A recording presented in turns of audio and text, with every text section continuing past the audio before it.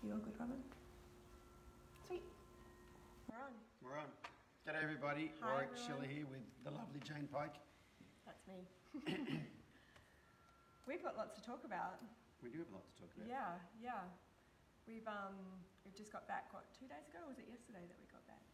I have no idea. I've It's lost all, track a, of time. it's all a whirlwind. Yeah, so we are live on multiple platforms at the moment. We're on Confident Rider, my page, and we're on Warwick's page as well, Warwick Schiller Performance Horsemanship. And, over here, I believe we're on Instagram too. Yeah. we? We're testing out Instagram. We're testing out live on Instagram. It's all happening. So, good morning, everyone. Um, I'm going to introduce you really briefly, Warwick, because there might be some people on my page who have um, either not been following it for a while or are not quite sure or up to speed with what's been happening. Okay.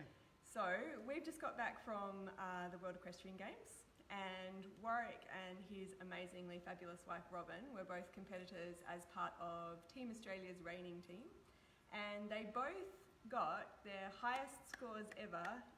Round of applause in competition, which um, I still pretty much put up there as the highlight of the couple of weeks for me. It was just the best thing ever. Um, so that's, and we're back now and um, thought we would sort of jump on and have a talk about our experiences and what led up to it basically. And so for people on my group who, the one person on my group, out of the 20,000 something people in my group that may not have heard of Jane Pike, Jane is a horse riding mental coach and she's been helping Robin and I for a while now um, with um, our mental preparation for the, for the World Equestrian Games. Yeah.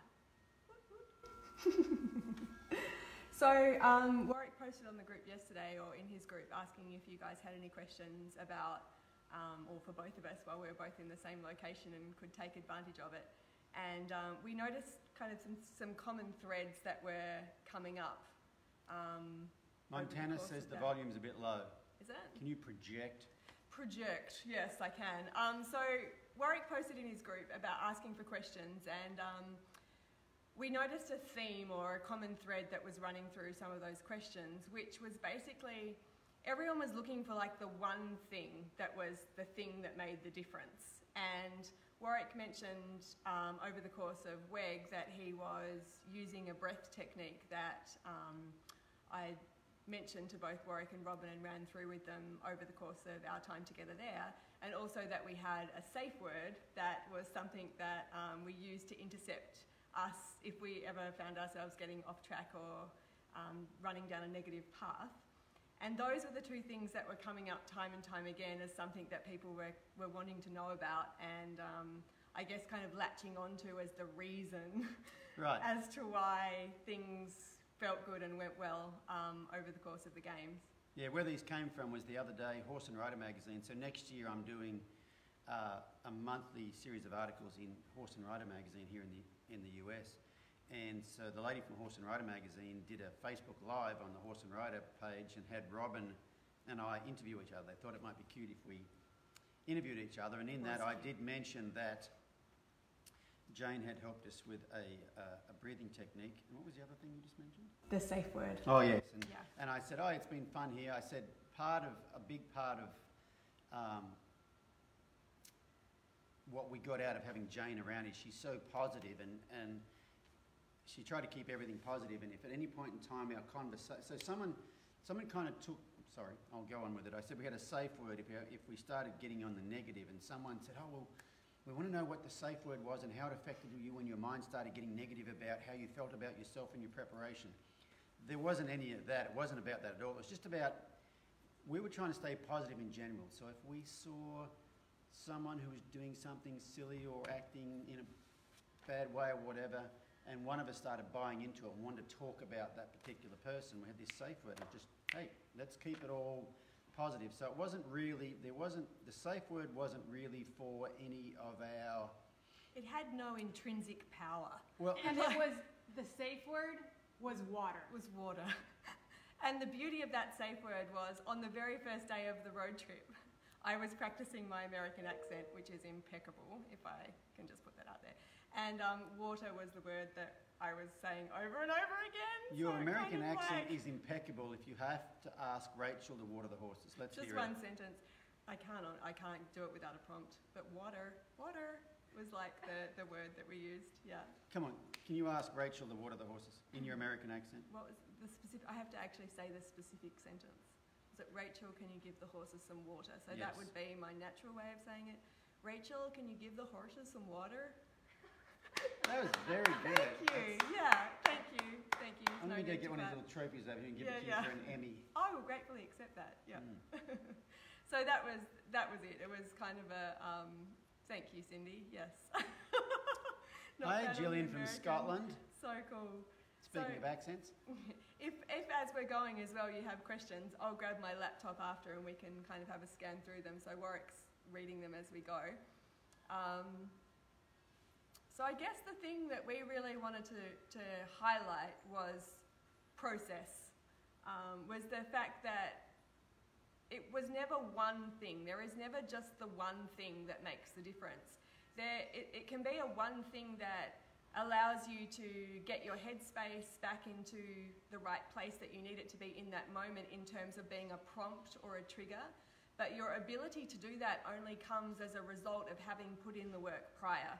And if you haven't put the work in prior, doing a breath technique will it will help, but it's not necessarily going to be the thing that really creates a difference between, you know, getting out there and being able to create your best best run ever at the World Equestrian Games. What what do you say to that, Warwick? uh, yeah, and we can talk about the breath technique that, um, Yeah, that's not a that, secret. that, that Jane showed me. We can talk about that in a minute. But um, I think, I mean, it's been a year long preparation for me. Um, and that breath technique was just the icing on the cake. I went, I went to the games in a very good mental state about my preparation, the horse's preparation, and just when I start, if I started to get nervous, which means I was starting to think about tomorrow or later today or whenever it was I was, I was competing, um, that breath technique just helped bring me back to the present. But it, you know, it would be pretty much useless without all the previous work. If you hadn't done all the previous work, it's kind of, I, Jane and I were talking about it yesterday, and it's kind of, I, I said it's a bit like a flying lead change. The first time you ask a horse to do a flying lead change, it's very, very easy if you've done all the work and the horse is ready for it. But if you've not done any of the work and you ask a horse exactly the same way, all you get is a horse that sticks its head in the air and probably runs away. and so it's kind of useless Yeah. on its own. Like any, Yeah. any, I think anything is really. Yeah.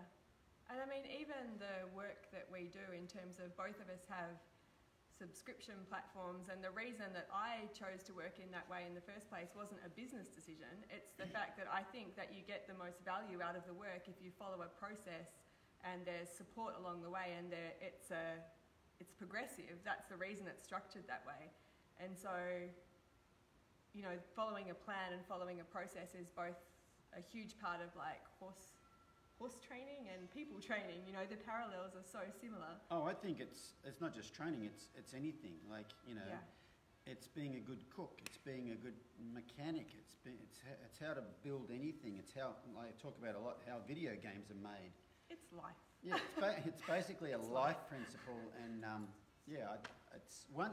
And once you get your head around it, it's it's quite easy to apply to a lot of stuff. Yeah, yeah, Um, once you stop compartmentalising it, thinking, oh, that's just for when you go to school, or that's just for when you're cooking, or that's just for when you're playing a video game. yeah, Um, once you realise it's it's basically how life works, then it's it becomes a whole lot easier. It's really a, I think it's really a paradigm shift. It's Yeah. really in um, how you look at things. yeah. It's definitely a paradigm shift, and then it's a, a muscle that you build. So just like building a physical muscle, you're building mental muscles that allow you to continually focus on the positive, to reframe things in a context that empowers you, and to manage your self-talk essentially so that it's supportive of those outcomes also, so that you're, you know, it, it's the way thoughts work is that they build on themselves. So the more negative thoughts you have, the more the more easily you can create more negative thoughts, and it takes you in that direction like a tumbleweed. But the reverse is also true. Like the the hardest shift is actually the transition. But once you've made the transition and you're able to sustain that and build your focus in a specific direction, it becomes much easier to create momentum. I, the, the analogy I use, and this was a really good one for San Francisco or being in San Francisco yesterday, is you know, if you've got a car at the top of a hill and you take it out of, you, you pull off the handbrake and you put it in neutral and you give it a little shove, it's much easier to stop at the top. You know, if you were just to stop it just directly after, after it started rolling, it's much easier to intercept it and to change the pattern of energy at that point.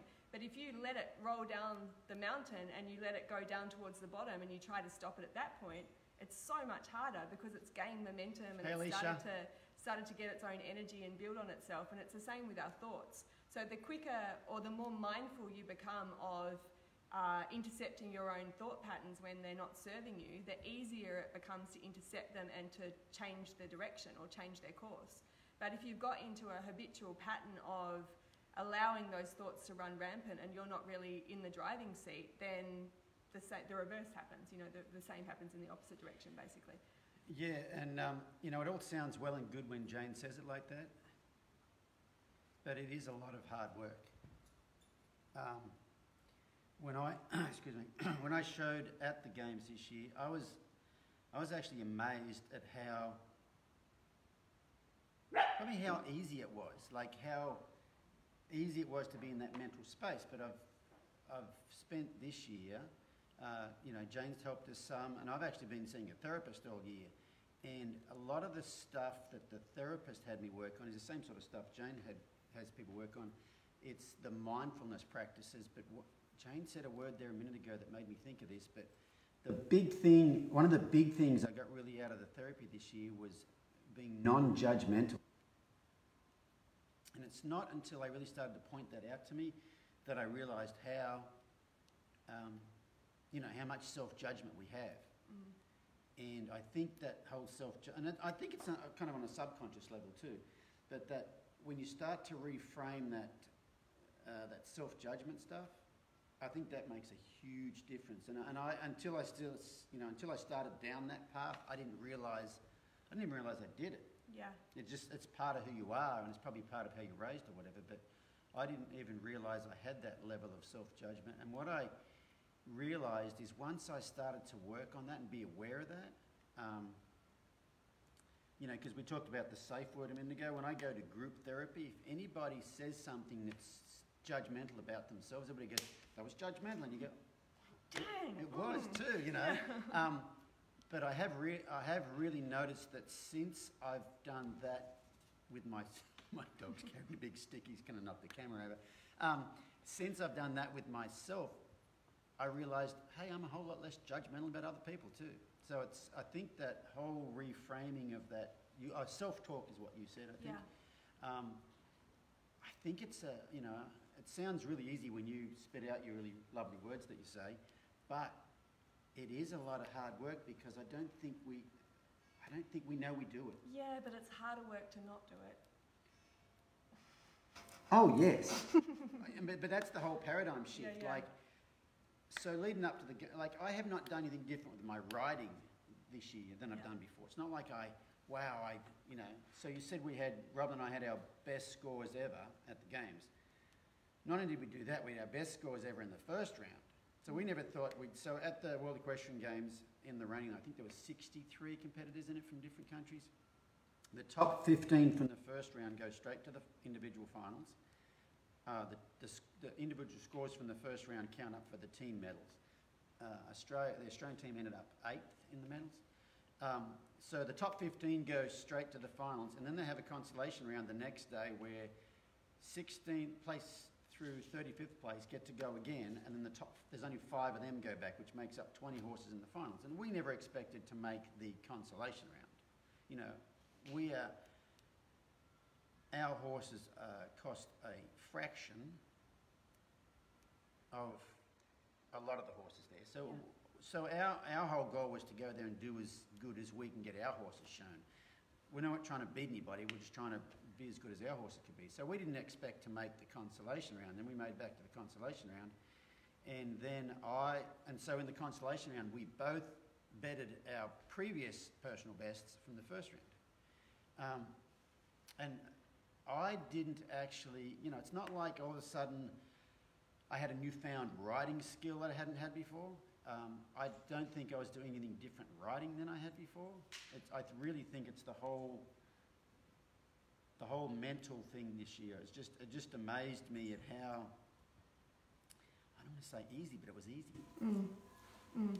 Well, I loved being a part of it, and it just kind of popped into my head when you were talking about best scores and that sort of thing. Is that the one of the coolest things was that the success metric, I guess, or that feeling of success, was so independent of everyone else or placing or anything like that. It was literally about you guys on your horses and having that experience and getting that score.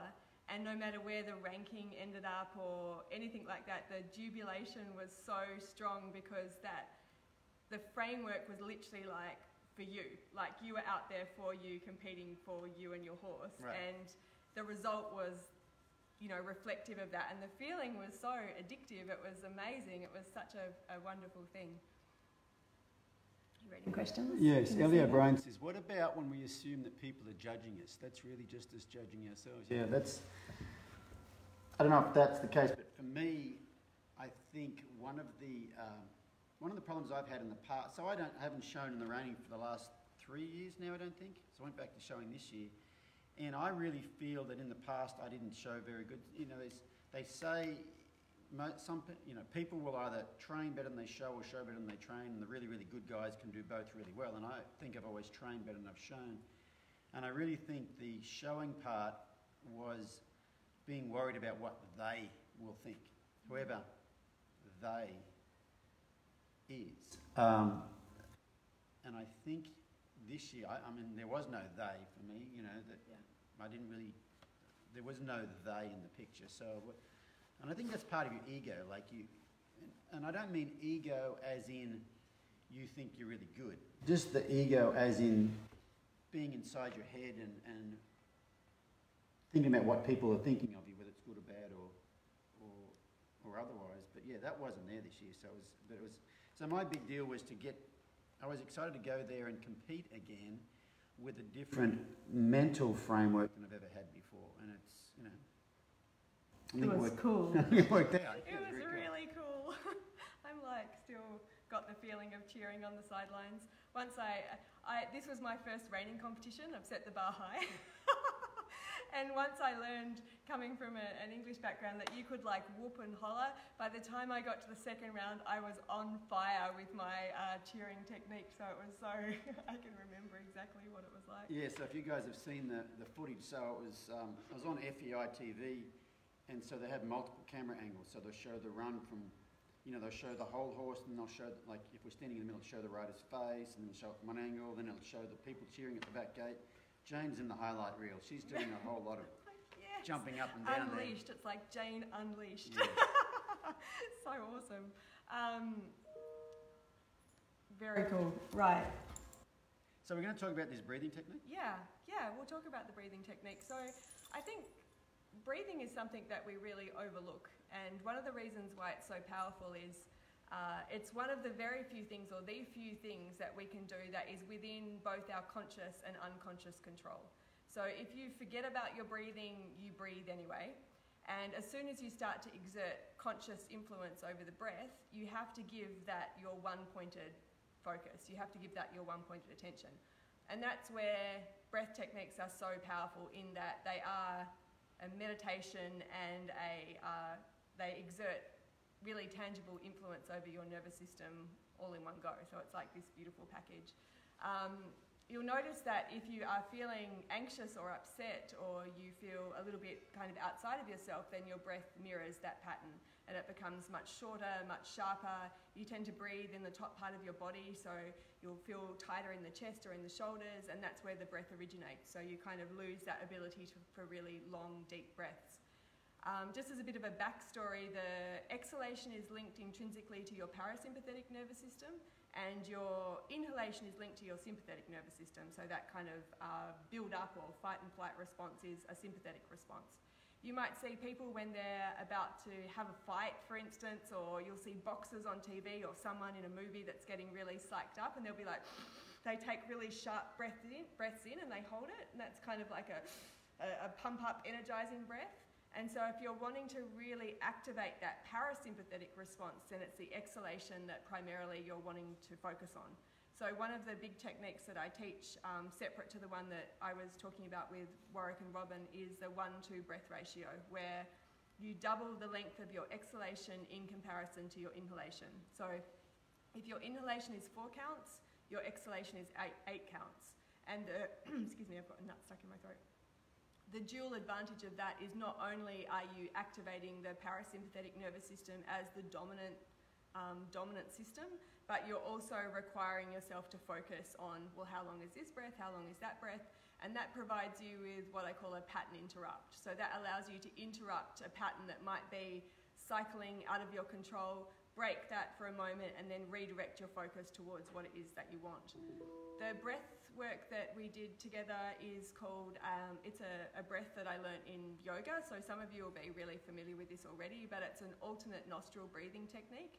Um, and way back in a past life, I did a lot of work on um, a lot of breath work, and um, I'm a yoga therapist as well. So this formed a lot of my my previous um, studies. So in yogic literature, I guess, or in Eastern philosophy, the left side of the body is related to the lunar side, the cooling side, and the right side of the body is, is the more heating sun side. But regardless of how deep you take it, basically um, you're breathing in through the left nostril, holding it for a brief moment, breathing out through the right nostril, holding it for a brief moment, and then breathing in through the right and out through the left. And all it does is basically A, require your focused attention and it is a very introspective breath. So if you're getting to that stage where you feel your focus has gone outside of yourself and perhaps in a direction that isn't um, useful to your outcome that you're looking to create, it's a really great recentering breath that actually has uh, its own mechanisms in the body that perhaps require a little bit more description than, um, than we'll go into today. So just, shall I run everyone through it yeah. practically? Yep. So the way that you do it is um, you actually bend over the index finger and the middle finger so that you have the little finger and the ring finger free and the thumb. And you're basically wanting to start to regulate the flow of the breath by half closing the nostril. So that in and of itself starts to introduce and interrupt the natural flow. So you can introduce a longer, more streamlined breath. And you breathe out by, so you might block the right nostril, you, you do it right where the crease of the nose is. So you'd block the right nostril with your thumb and you exhale through the left nostril and you just have it half open. So you're never like completely free with both, both nostrils. You exhale through the left nostril, inhale through the left and then block the left and exhale through the right. And then you do the same on both sides. And you do that for sort of 12 or so breath rounds. But I know when you were actually practicing that, say, I saw you do it a couple of times on PD, you might just do it for three or four breaths. And by that stage, it literally is just a, a reset button, basically. Yeah, it was a reset button. I used it, so you taught it to us right before we left or when we got back there, one or the other. Yeah. And I think it was the day before we competed, I started to start to get, you know, nervous. And as soon as I'd feel that, I would just do that breath technique. And like Jane said, there's a lot to it physiologically, but for me, mentally, because it's, you're all probably going, what do you do? In, when, out? Yeah. It makes you think. And so it takes your mind off whatever it is that was making you nervous, and you've got to really think about it. So it's out with the left, in with the left, out with the right, in with the right. Yeah.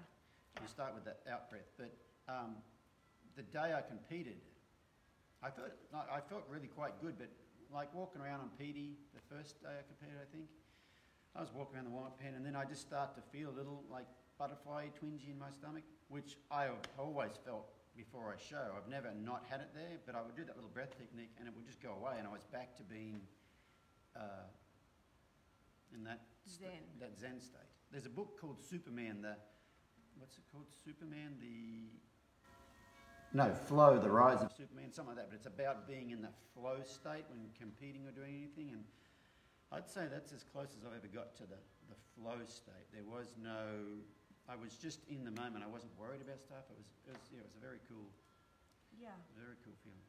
But um, just to flag up again, like that's not the secret ingredient. It's just one technique that you can use once you've really got a solid foundation that you're launching from to kind of just bring you back. It's like a, it's a tweaking process. And I mean, perhaps this is a, a good story to throw in the mix. It's a little bit further back, but um, when I was doing my hypnotherapy qualification um, a couple of years back, I come in as a natural skeptic generally to everything that I do. So I'm not sold to instantly. I, I don't buy into processes immediately. I kind of want to experience them.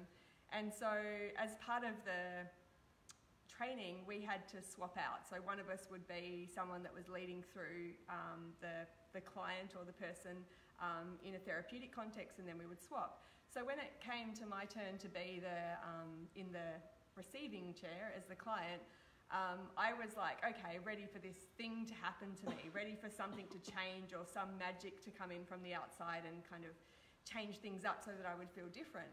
And I went through the entire process and really nothing happened. It was, I felt um, no change. I really didn't get into the process at all. And I went to the facilitator or the, the teacher afterwards and I said, you know, like I feel really bad. I, I sat there really, nothing happened. I didn't experiencing any, didn't experience anything. And she said, Well, that's because you were actively not doing. You were actively not doing the process. And for me, that was like a huge light bulb moment and something that I've shared in Joyride loads because the thing is, you can learn all of these techniques and, and read about all these principles and, you know, watch videos on people doing the things that you perhaps should be doing or want to be doing in order to get the results that you want. But it's a really, it's a process of actively doing the techniques so that if you if you be- become anxious, for instance, or you feel yourself getting off track, there it's a it's a, a constant conversation that you're having with yourself, a constant process of engaging in active choices to focus on the positive or to decide to be a certain way and then to activate the things that support that. So, you know, when it comes to the, talking about the breath techniques or things that we do in the moment, say as soon as the warm up or as late as the warm up, warm up, those things work because there is an active participation that's come a long way before that of choosing to operate in this framework. And then it becomes easy because that choice has been activated so many times, it's like your default mechanism that you fall into. But until that time, it's even like you can't really afford to get complacent because it's, you know, generally it's not socially or environmentally supported to be positive or to be to have a, a positive outlook. It's very easy to create camaraderie in negativity or camaraderie in things that aren't going well. And you'll notice if you really start to audit yourself in terms of your conversation in terms of what it is that you talk about or read about, how easy, how wired we are to actually engage in negative talk or conversation. Well, there was um, a post a ago, someone said, well, isn't that whole negative self-talk just human nature? Yeah. Uh, yes and no. You know, I think that um, I if, think we, we're if we talk about it in a really global context, like that my take on it is that we are hardwired for survival. So up until this point, evolutionary, we're quite young on the planet, you know, if you want to get into this sort of side of things. And I think we are hardwired, like anxiety serves a purpose. There's a reason that, you know, we're able to survive up until this point. But now we're in, we're in a place where we can actually step into a creative context as opposed to a survival context. right, we're not in danger of dying. Yeah, we're not in danger of dying. So it's like, how do we actually take it to that place? And that becomes something that is really a trained process, I think, and, and kind of a conditioned process, I guess, rather than trained, a conditioned Mhm. process to, to move in that direction and to focus on the positive and to seek those outcomes. Yeah, and I think it's I think it's important that you guys understand that work, whatever work it is, whether it's training a horse or you know doing what Jane's talking about, you do a lot of it and you don't think you're getting anywhere. Think about think about if you want to get a six pack. You know, you start going to the gym, and get working on your six pack. You don't go home the first day and go, it's not working. But Some of us do. but it's, but it's human nature to do that with, with anything. Yeah. And so there's a book that I've read. It's a very short book by a fellow named George Leonard, and it's called Mastery. Here's one I prepared earlier. It's called Mastery. And in this book of Mastery, he talks about the plateau. I'm going to show you a little diagram right here. So you can see that little diagram looks like some steps. Show this camera here. I've got three cameras going here. So he talks about the plateau, and he said usually when you're learning something, that you, when you first start, you'll have an upward surge. When you get a new skill, you have an upward surge, and then you'll drop back down a bit, and then you're on a plateau. Okay, I'll show you again. So you see that at the beginning, there's a little upward surge, and then you're on a plateau. So where's the beginnings on this side here? So you go along, and then there's an upward surge, and then you drop back down. I'll show you guys. Along, up, and you drop back down. So what tends to happen, what he explains in this book tends to happen is you go along, then you have an upward surge, and then you drop down, and then you're on a plateau. And you, what you're doing when you're on that plateau is you are developing the skills you're going to need to have the next upward surge. But what tends to happen is we have an upward surge, then we drop down a little bit, and then we flatten out, and right then we go, this stuff's not working. Mm. I'm, I'm, I'm, s- I'm stuck. It's, it, I'm not getting any better. I got better, and now I'm getting worse. And you're not getting worse. What you're actually doing is you're practicing the skills you're going to need to have your next upward surge. And in there, he talks about loving the plateau. He says you, you have to understand that you will spend most of your time on the plateau. So you need to learn to love the plateau. You have to embrace the plateau. You have to, one of the things he says, you have to practice for practice sake, not for um, getting further ahead. And, he, and in there, he references one of the um, most spiritual, of the ancient Hindu practices, which is called karma yoga. And karma yoga is applying yourself to a task with no thought as to the outcome of that task, which is what you are doing when you're on the plateau. You are just doing the work. You're not doing the work with an expectation it's going to get you something. You just do the work. And I know personally with the the uh, the work that I've done this year on myself with, say, the therapy, I went to a therapist for six months before uh, I felt a difference in anything, you know, and all of a sudden, whoa, it was quite different, and it, and it kind of came upon me in a, as a surprise because I was, I, I, I don't think I was thinking this is not working, um, because I understand the, I understand the plateau, you know, it's in horse training, it's in, in everything, but it was probably six months, and I didn't think it wasn't working, but I was thinking, yeah, it's a slow process, you know, but all of a sudden, whoa, I had this big upward surge, and it was quite uh, it was quite a good feeling because it was, you know, it's like, oh, the, all this hard work has made a difference. And I think, you know, you've, you've, you've got to understand that when you're learning something like that, you'll be spending a lot of time doing the same thing over and over and over, and you think you're not getting anywhere, whether it's trying to get a six pack or you're trying to do all this inner work like with the therapy or like what you have people do, Jane. I mean, and it's the same thing with, with, with my business, helping people with their horses. I have so many people go, he got better, but now he seems to be getting worse. That's perfectly normal, and you have to learn to embrace that. You have to, I think that's the biggest thing I'd love, that's the gift I'd love to be able to give people. If they just understand that that plateau is perfectly normal, everybody goes through it, mm. and it's, you're not failing. if you're on the plateau, you are not failing. You are actually succeeding. You're in, you're on the path to success until Yeah. you have your next upward surge and then you drop back down Yeah. and you go again. I had a um, conversation with a friend recently, and she wrote a really great thing for me where um, we were talking about uh, one of my horse's progress, and I said, "Oh, it feels a little bit like Groundhog Day," and then we had this moment where everything went to a, the next stage, and I posted about it on Facebook, and she sent me a message and said, "See, while you were busy doing nothing, you were busy doing everything." And it's the same, That's exactly, exactly it. the thing. Yeah. Yeah. And I keep quoting that because it's like it's so true. Mm. yeah. That's a great way of explaining that whole, you need to practice for practice sake and Yeah. not for the, and not for the, the, the thing you're going to get out of it. Yeah. Yeah. And it's micro successes as well. Like once you experience that, you know, once you're able to break things down into a really, uh, yeah, to experience the process and enjoy the process, you, there is a elation that comes with the very small successes within those moments. You know, like it's you reframe what success actually right, looks like. Right, exactly. So that, that plateau seems to be flat, but there's a lot of little successes in there.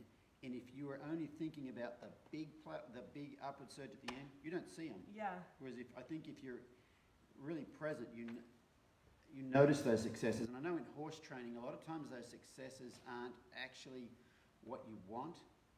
Yeah. what those successes are is the horse trying a different answer.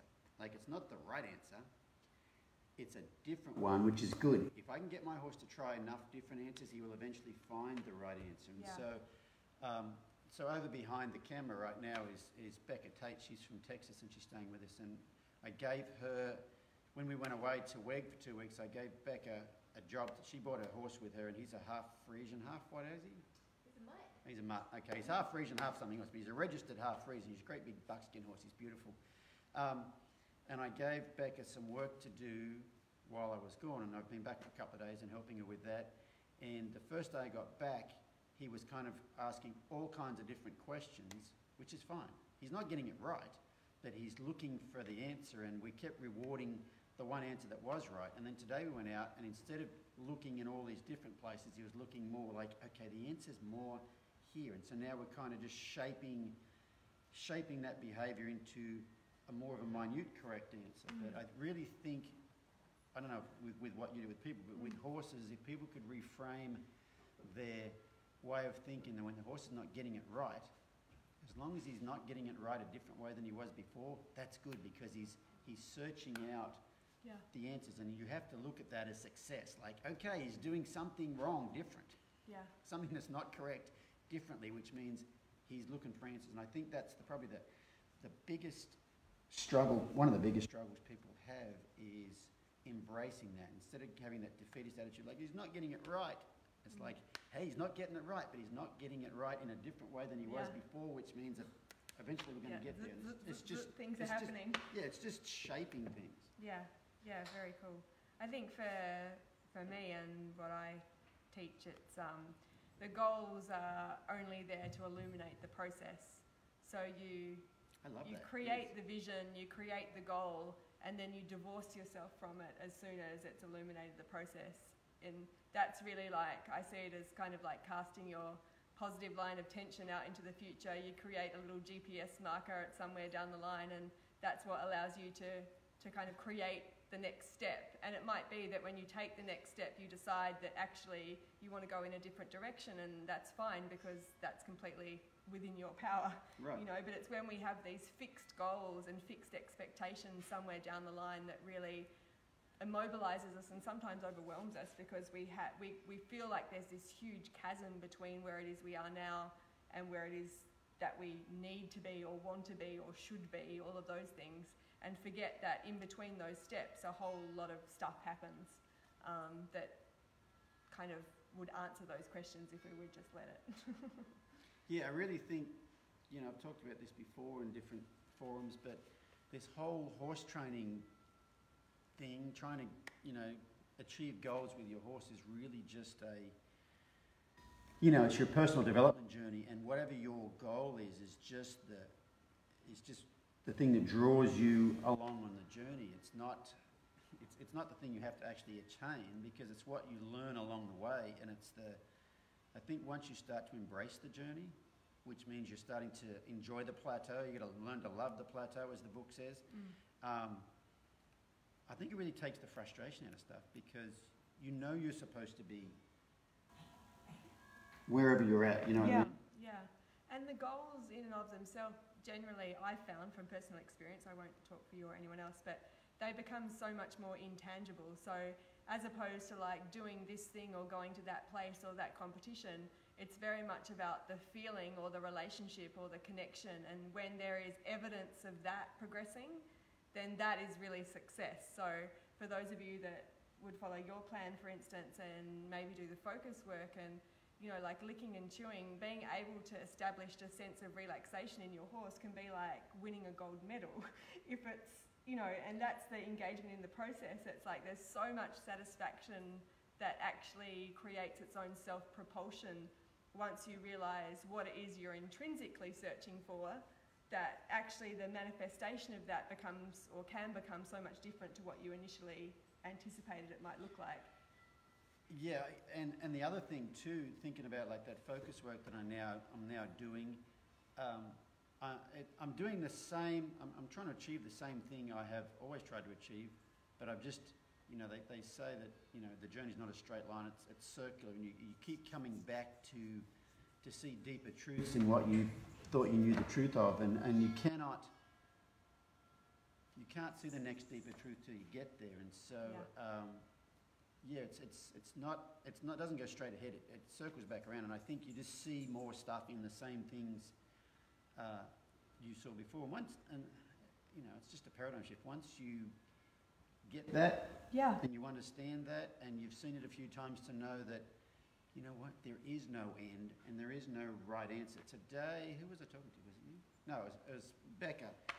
Uh, we were talking in the truck. We went and dropped some stuff off this morning. We were talking in the truck, and Becca said, "Now that I'm, oh, you showed me a way to do it right or whatever." And I said, Becca, there is no right, there is no wrong. Really, you know, it's it's intangible because what seems right now Mm.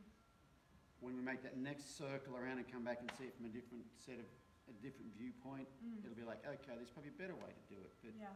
and that's I talked before about judgment and the whole self-judgment thing, and I think I used to be really quite judgmental about what other people were doing with their horses, and and it wasn't until I realized I learnt to be not so judgmental on myself that I wasn't. I, I realise now that everybody's at their own place in their own journey, Mhm. and that's that's where they're at. You know, like you, Yeah. you can't be somewhere where you, where you're where you're not. And so I think everybody, um, you know, everybody's doing the best they can with with the information and the experience they've had.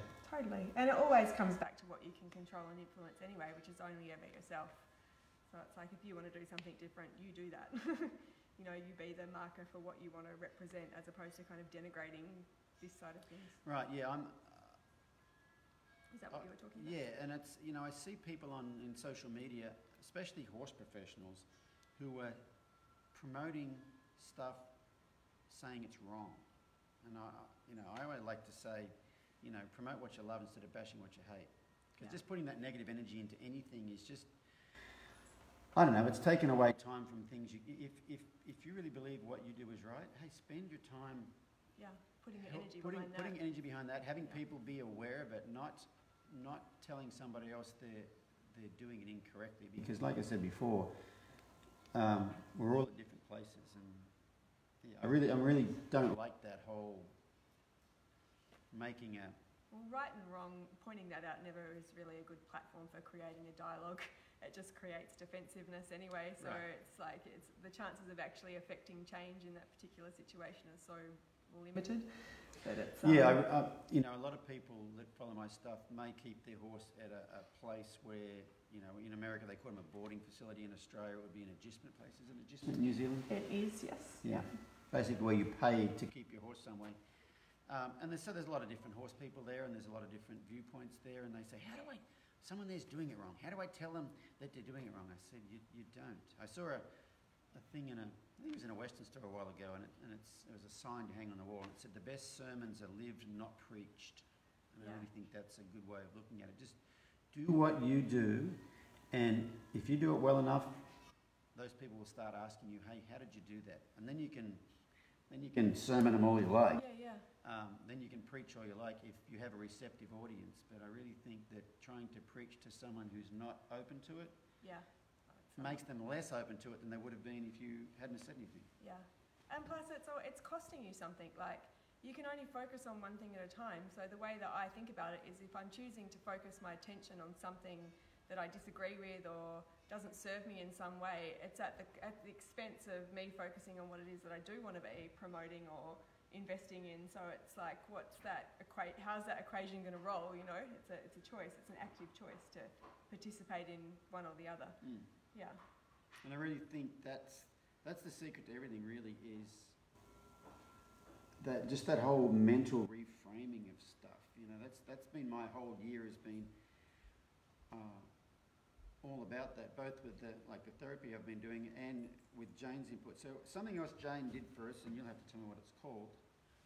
But Jane, the audio thing. Oh yeah. Sorry. Yeah. So um, Jane asked us a series of questions, both Robin and I separately, because we have different things we want to work on, a series of questions this year, and then gave us an audio file to listen to based on our answers to those series of questions. And we have to listen to it with uh, stereo headphones, so I've got some noise cancelling headphones I put on. And initially I have Jane in both ears saying the same thing. And then about, it's about 35 minutes long, but about 10 minutes in, it changes to where I've got two Janes, one in each ear, and they're both Who saying would have thought? they're both saying different things, and um, I don't know the, the I don't know the, the technicalities behind it. I suppose it's got something to do with the subconscious. I'm guessing. Yeah. Um, But that was one of the one of the many things we did this year, and, and can I tell you it worked? No. Can I tell you I had the best show I've ever had? Good enough for me. Yes. Yeah. so yeah, maybe you can explain what that thing is, and, and it's part of your. Is it part of your? It's a different. It's a different thing that I do separate to Joyride, but it's What's it called? available. Um, it's a bespoke hypnosis audio. Yeah, yeah.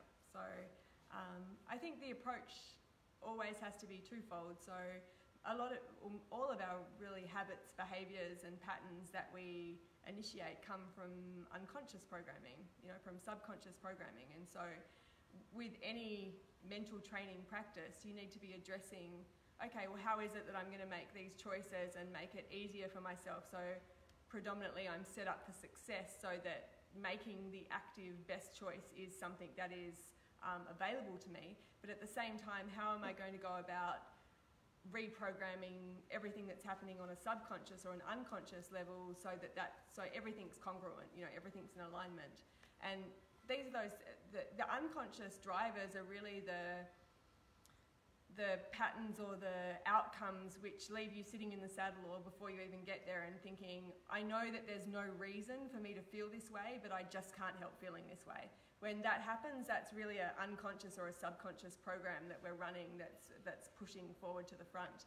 And um, it's especially common with injury or returning from some kind of like uh, trauma where the emotional trigger is very strong, so that defensive trigger comes to the forefront of our conscious mind and it's not something that we can override. But with optimization as well, so visualization practices are an example of subconscious reprogramming. And essentially, if you want to create a future outcome that's divorced from past experience, that's where you want to start to get into some of these um, unconscious practices also. So visualization's a really great one. Um, unconscious, uh, unconscious visualization.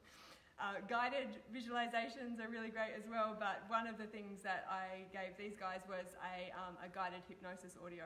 Now, the reason that it splits off into two different ears or two different narratives is because the left ear is involving itself, or the narrative there is involving itself in the suggestions that we put together. So I asked, what is it that you would ultimately like to be feeling when you go out and compete? What is it that you would want to believe about yourself? And what is it that you would want to experience? And then we put together a little paragraph that essentially encapsulates that in a tight little package.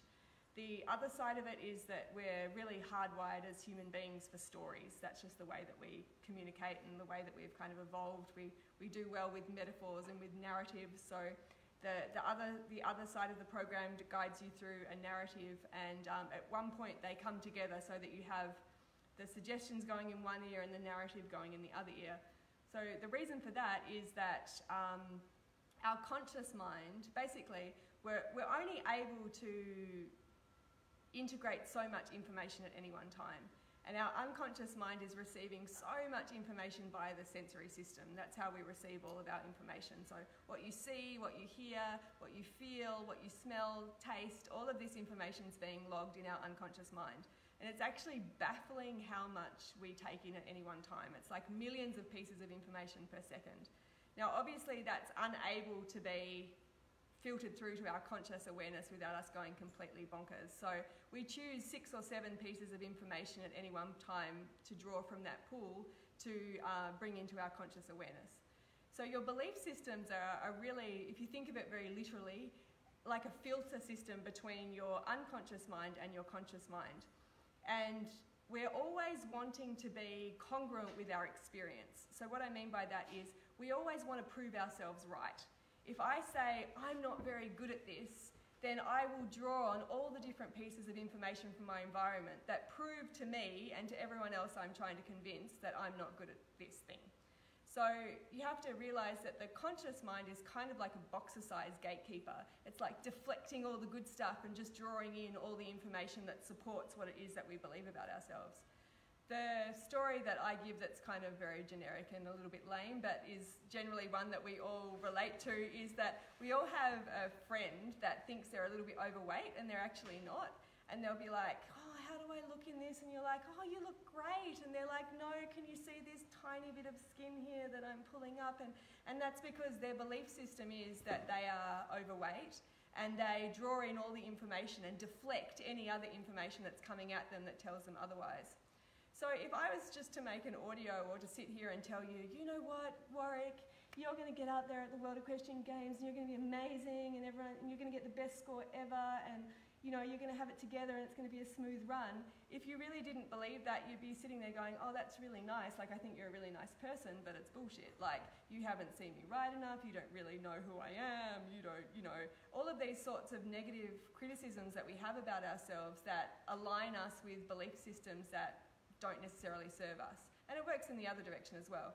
So basically, with the audios, what you're wanting to do is distract that little voice. You want to distract that, that gatekeeper at the edge of your comfort zone so that we can slip under the radar and get all those nice thoughts in there that your unconscious mind absorbs. Because your unconscious mind has no filter, it just takes in whatever you tell it. So if you can get in there with the good stuff and distract your conscious mind enough, then you'll integrate and absorb that good stuff. So that narrative, the way that it splits, is designed to do that essentially. It's like you might have experienced this, you're like, I'm going to listen to this one, then I'm going to listen to this one, and I'm going to listen to this one, and you can't You actually yeah, you can't keep track with both, and so that's where it becomes really effective. So if you were looking for a succinct description as to why that audio might work, you didn't get it, but that's essentially what it's about. Uh, no, just Um, listening. I've never really heard you explain it quite like that before, and I'm Yeah. thinking, I'm thinking that may have one of the been the big parts of the success because, yeah, in the past I think I've had that. Oh yeah, that's bullshit. Yeah, You know, we like, all do. Yeah, like We all uh, do. you know, yeah, you're saying, uh, yeah, uh, you know, I'm not that. Yeah. Yeah, yeah. So it's um, it's a there's a method to the madness. Mm. Yeah, No, I'm pretty sure that listening to that is like okay because that was not there. yeah, I think that's there. Like when I've competed before, that's been there. I'm like, I'm going to do good. No, I'm not. This is Yeah. not going to work. Yeah, I'm going to do good. And yeah, it's almost like I've had a, a wrestle with myself. yeah, Um, whereas there was there wasn't any. I didn't have that. I didn't have.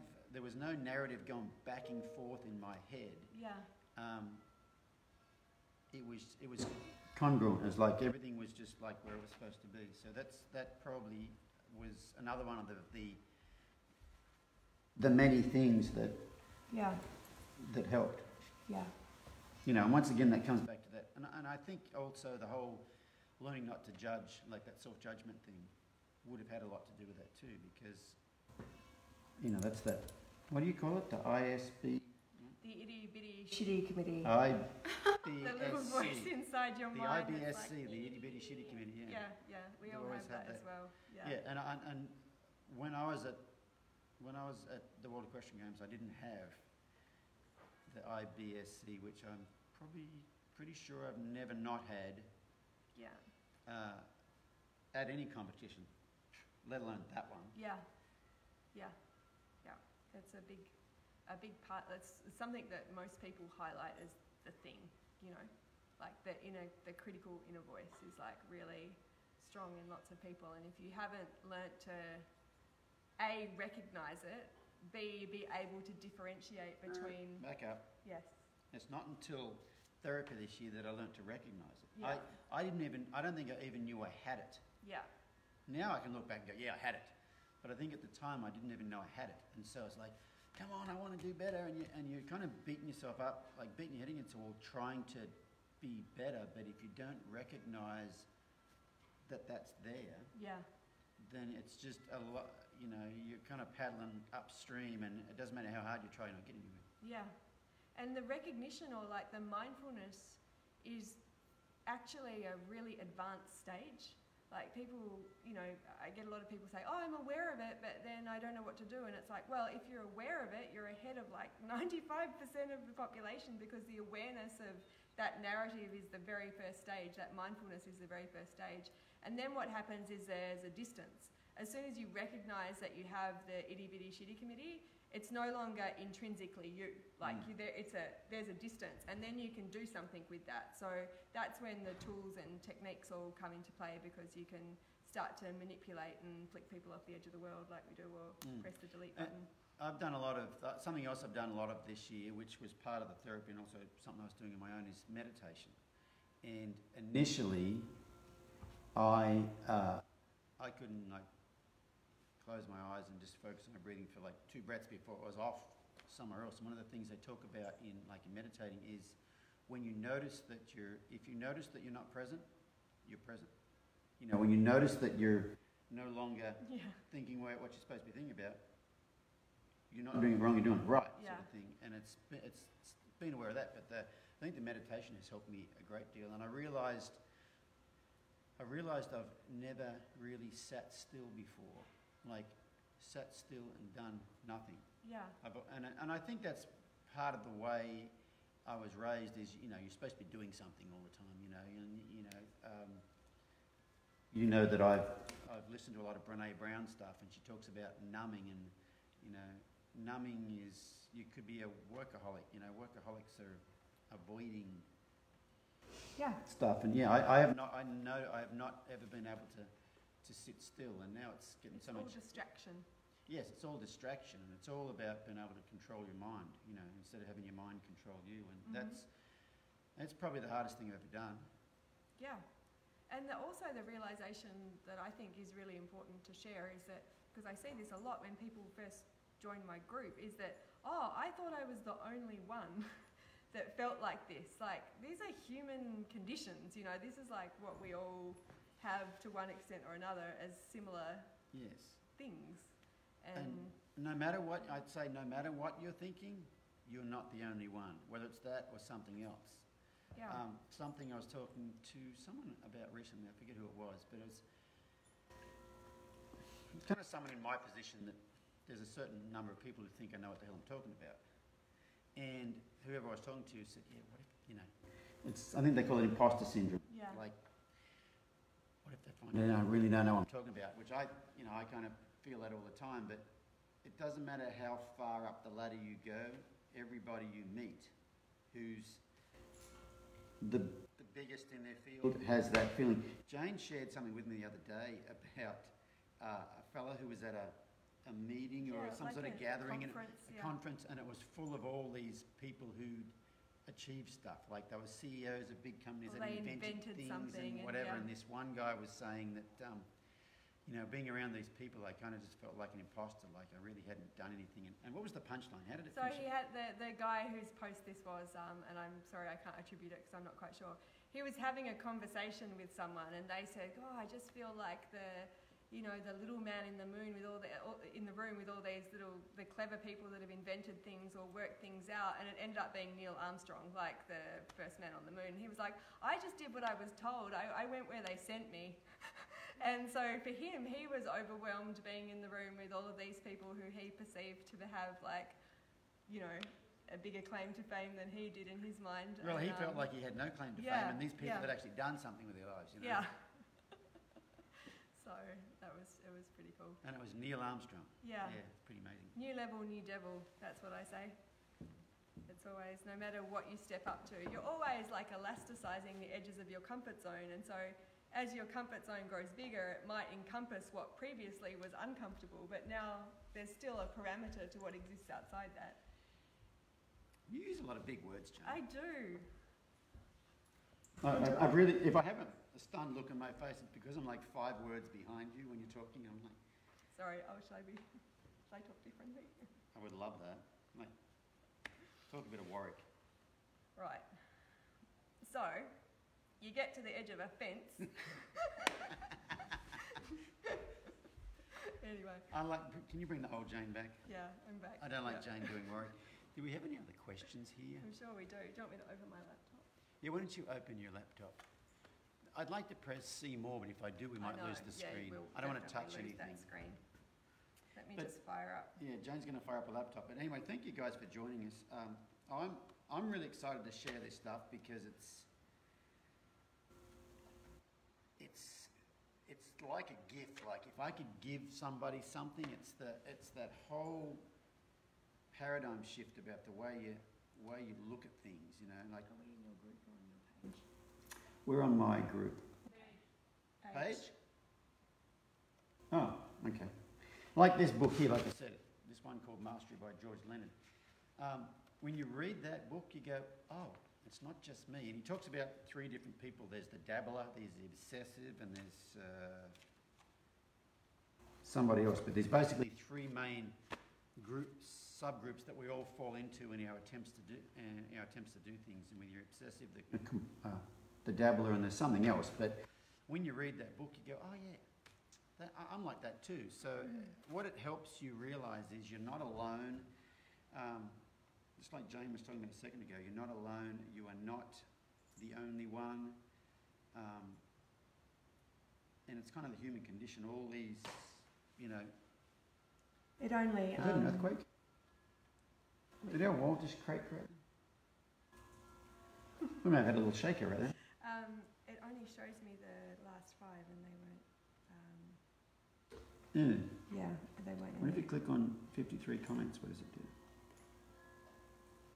doesn't let me. Yeah, I don't like these Facebook Live things. They, they, um, It's hard for us to see the comments, so Yes. we might go back through afterwards and have a look. Or if you've got any questions that we haven't answered, post them again. oh, someone, I can't see who it was, but someone's just posted. So where does this shift begin to start. Begin to start? Um, Val just tuned in while making cheese. Well, I hope it's good cheese. Is How do you draw the fine line between keeping yourself safe and being confident?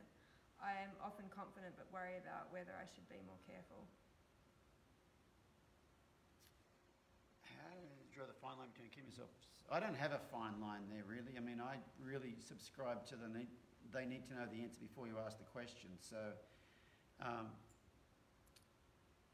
I, yeah, I don't really have to worry about the keeping safe because I'm basically, I'm very, very step by step in the stuff I do I am as well. with, with the, with the horses. I, um, It, it also depends what your definition of confidence is. Like to me, confidence is the ability to stay resourceful and focus on what it is that I'm wanting to create. It's not synonymous with brashness or it's not bravado. yeah, bravado or kind of like pushing the line. That's not necessarily confidence. It's more, you know, the, the really in the confident people have, they don't sort of need to show a bravado, you know? It's like a, do you understand what I'm saying? what Yeah, it's, about? it's, it's kind of like, so a friend of mine was a professional bull rider, okay? He's, he made, he went to the PBR World Finals here in America 10 years in a row. And when I first met him and met some of those other boys, I thought they'd all be like these crazy guys. They are the most safety Mm, aware people doing what they do. mm, Like you'd think they would be all full of bravado, but they're not. They're confident mm. because they know what they need to do to stay safe, but they're not reckless. It's, Yeah. it's, there's a yeah, huge difference the word I between being confident reckless. and reckless, and it's um, you know, I know what I can control, what I can't control. I weigh up the, you know, I weigh up the odds, but um, yeah, it's. I really think the. I've got that one. Oh, Steph, how did you guys go about managing your own expectations at WEG after you got a personal best in the first round, and what's the rest of the Made question? the consolation round. Uh, the, well, probably there was more pressure in the first round because you're, uh, you know, you're part of the team and you're competing for your country and it counts towards the team scores.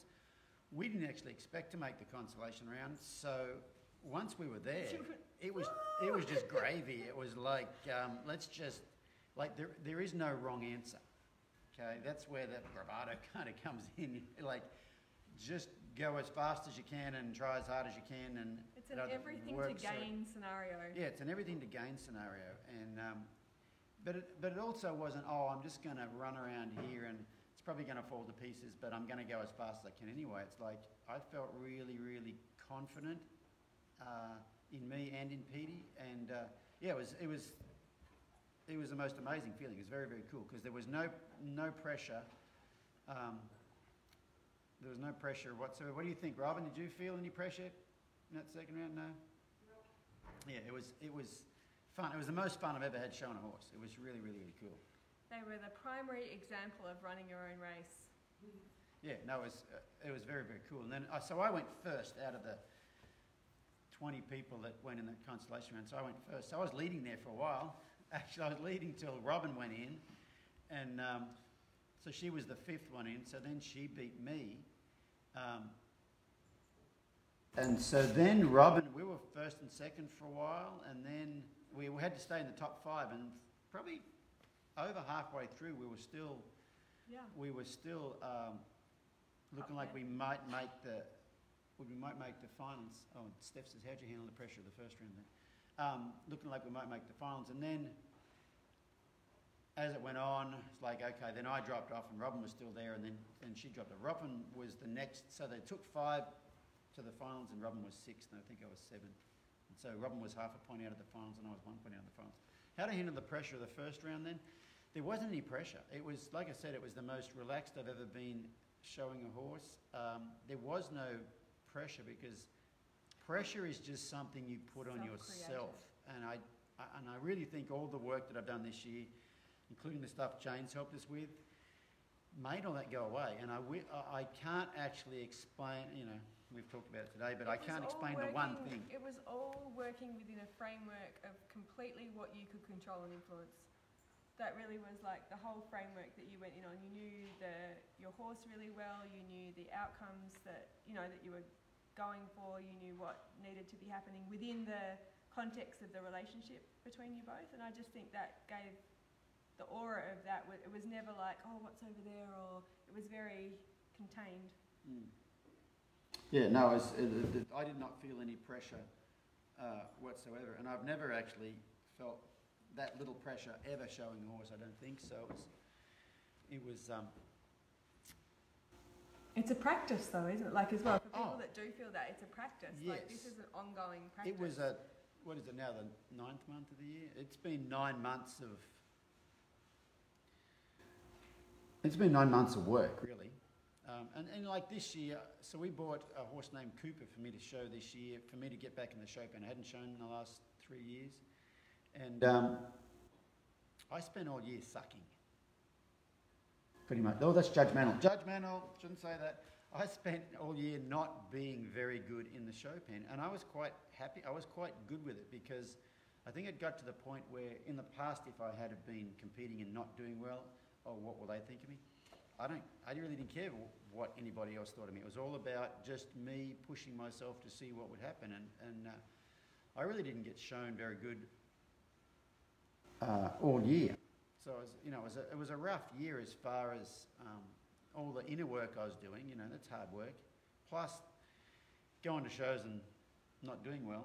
But I didn't at any point in time go, oh, maybe it's not a good idea. It's like, hey, I know I have to slog through this. I have to, I have to get in there and, and uh, do this stuff. Becca's got a question. They're choices as well. Like it's an ongoing choice to feel.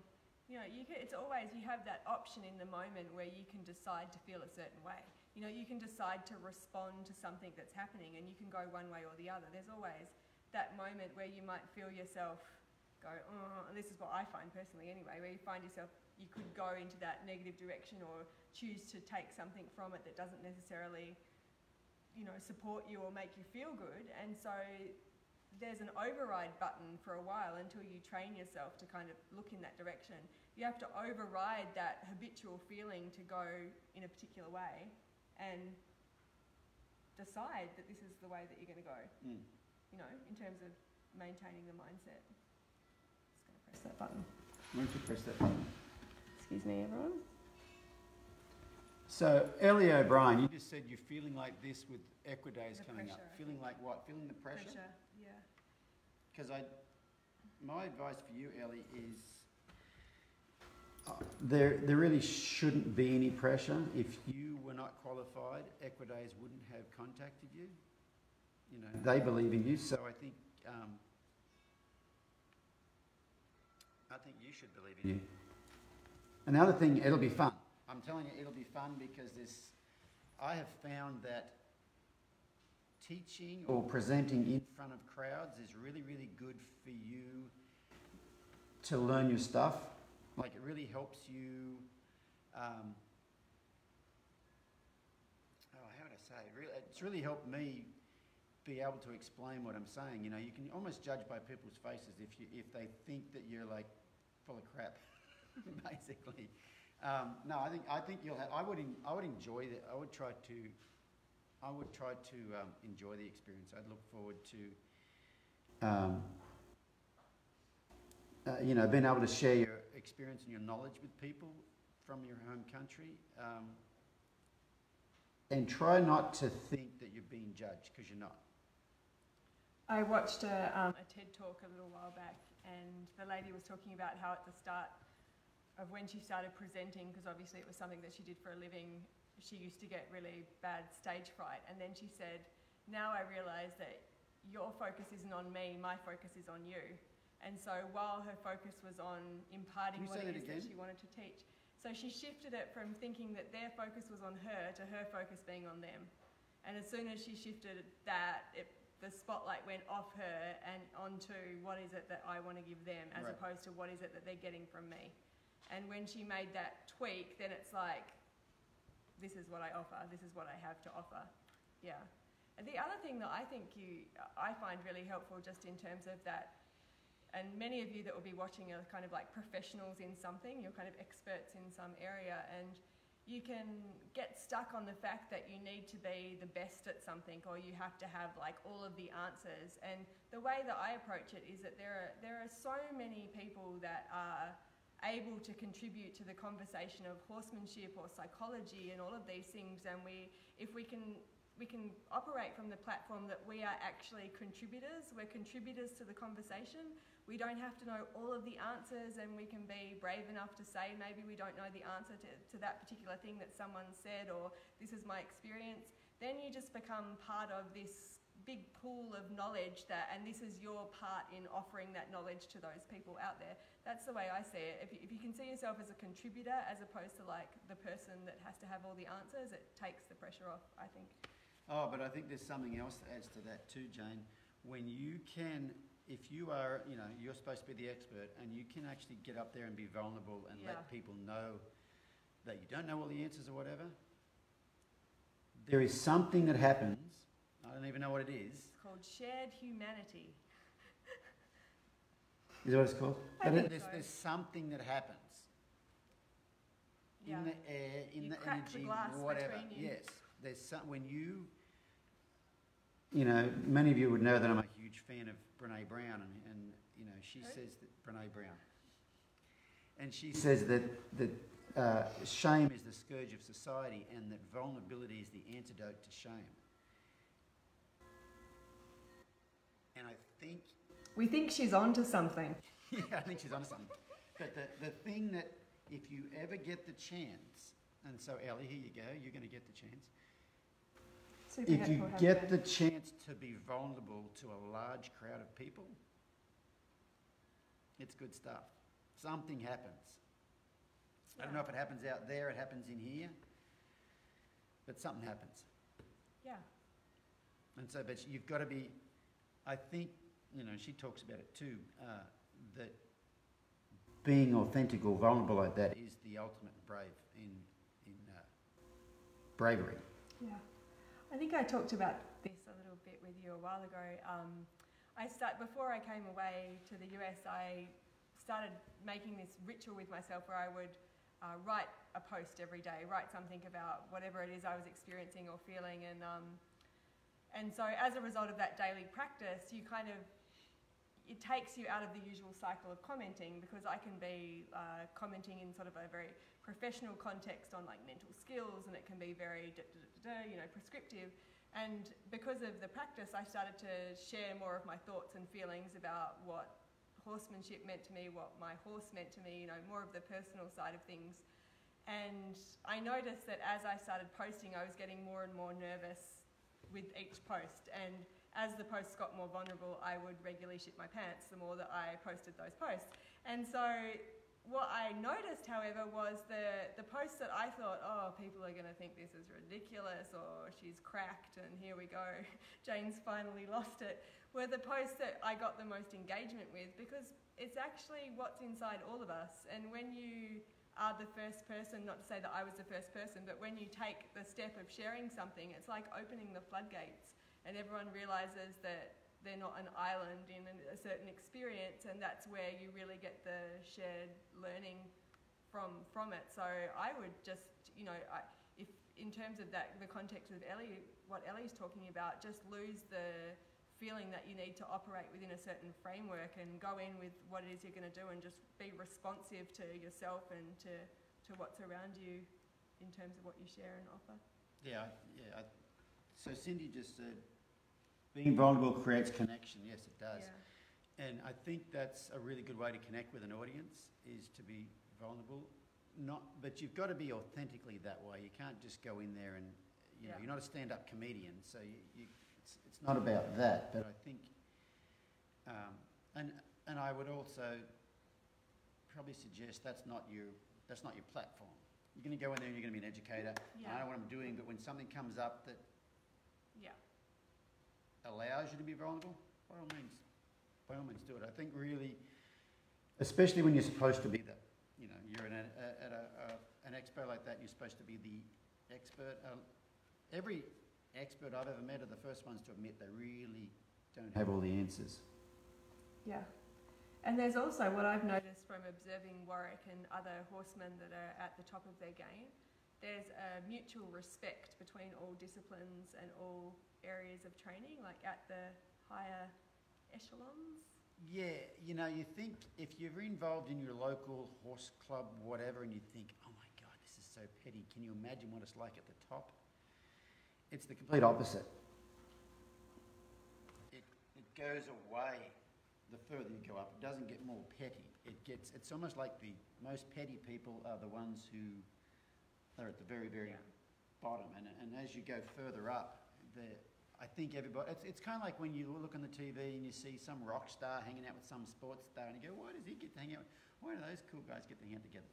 Because they both have, uh, they both have an understanding of how much effort it takes to get to the top of anything, even if it's not their game. If I'm an entertainer and you're a sports star or whatever, I understand what you went through to get here. It's like a mutual admiration society. Yeah.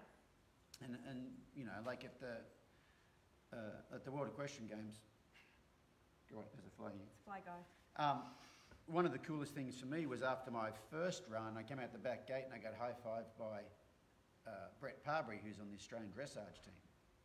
So he'd come over to watch. And there's a really, really cool picture some of you may have seen that was taken at the games when Robin's got her score announced in the second round when she was at 220 and a half and she's gone, yeah! And the picture's taken from the other end of the arena and in front of her in the stands is a sea of Australian team shirts all going, yay!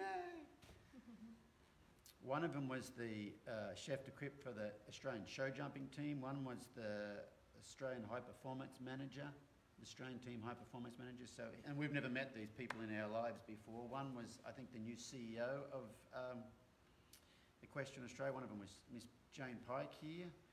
Um, I was invested. But yeah, it was very, very cool the support we got from, I think one of them went with the team vet too. Um, but yeah, it's just very, very cool the support we got from those guys. So yeah, it's amazing. Very cool. What else have we got here? Uh, there was a question that popped up here a minute ago. I couldn't quite read on it, but then, or I, on the? then I we're on realised two it was different pages. yes. I This couldn't one? find the answer. Uh, No, it was on mine. No, I think we've filtered it down, unfortunately. Do you want me to have a look at Oh, hang on. Let's read this. Susan, I'm doing it tonight on stage. The only way I can sing on stage is singing from my heart and be in the moment. Susan, everything you do is from your heart and in the moment, so I don't think you'll have a problem doing that. You're going to be awesome. What else? Should I have a look at those questions that were on your page from before? Can we have a look at the questions from before? Yeah. A lot of them had to do with, a lot of the questions had to do with the breathing technique. Uh, I can't see most of this stuff. but I'm sorry, guys. on We almost need to have two laptops open here. I know. Let me just go to the group. There it is. Sorry, I'm just pulling up the questions that we had before from um, the post you put up yesterday. Scanning through.